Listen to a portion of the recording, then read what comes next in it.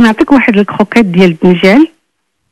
غنشدو الدنجال غنسلقوه ونقطعوه نقطعوه ونزيدو عليه شوية ديال اللوز مقلي ومطحون والجبن السائل الجبن السائل.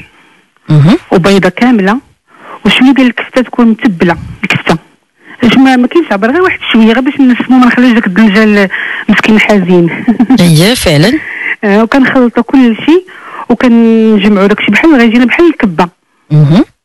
وكنعملوه في لاشابلور وكنكونوا دهنا ال- كنكونوا دهنا الطبسيل ديال الفران وكنستفوه فيه وكندخلوه الفران بالصحه بس كيجي غزال زوين. تبارك الله عليك دائما حويجات ساهلين وخفاف الله يعطيك الصحة آه.